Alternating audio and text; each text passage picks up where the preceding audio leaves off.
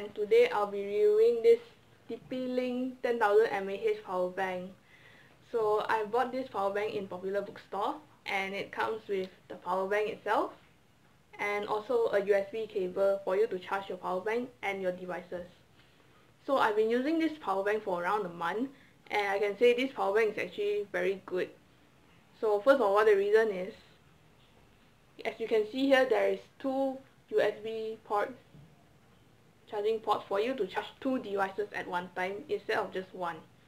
And secondly, this power bank is very actually very long lasting and you can use it for around 7 to 8 hours to charge your device.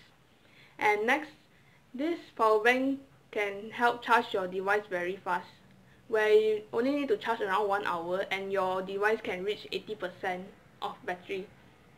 But when you want to charge your power bank, it actually takes a very long time for the power bank to be fully charged, which is around 4 to 5 hours. Uh, even so, this power bank is still very good and it's very light and easy to bring it everywhere.